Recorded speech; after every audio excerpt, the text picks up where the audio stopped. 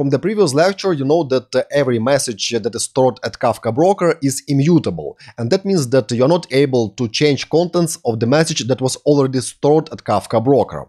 Also, on other hand, every message has its own structure. So let me explain you it now.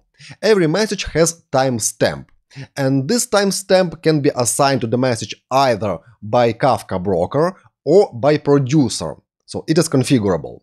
Also, every message has offset number. And recap that in the previous lecture, I didn't told you that this number must be unique across topic. That's because it must be unique only across partition. We will get back to partitions pretty soon in one of the next lectures, but for now just recap that uh, offset number is unique only across partition in specific topic. So that's where timestamp and offset that are assigned to the message. And message itself may contain key that is optional and value.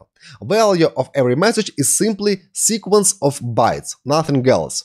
And the Kafka broker does not care what is actually stored inside of the message it stores simply sequence of bytes. That means that using Apache Kafka as centralized transportation messaging system, you are able to exchange different kinds of data. For example, you could send objects, or you could send strings or numbers, or more than that, you are able to send files that must be encoded simply into bytes format. That's all. Kafka stores just sequences of bytes. But also please keep in mind that the idea of Kafka messaging system is uh, to keep messages as small as possible. So please uh, don't try to send entire movies uh, in a single message. That's not purpose of Apache Kafka. Its purpose is to quickly send just small messages between producers and consumers. That's it and key that is actually optional you are able to use as additional grouping mechanism for messages inside of the topic.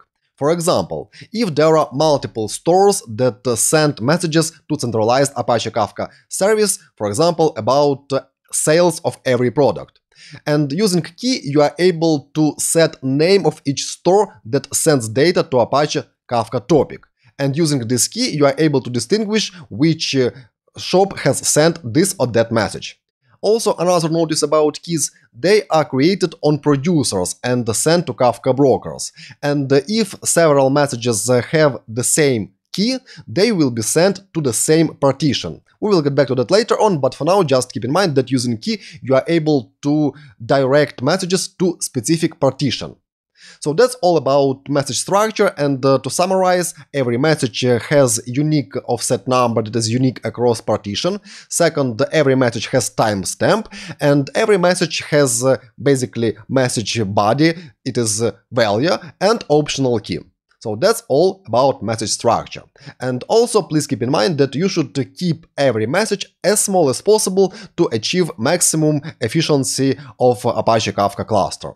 So that's all for this lecture and next uh, let me explain you how topics uh, are spread among different brokers and uh, what is actually partition and how partitions are spread among different brokers. So see you next. Bye bye.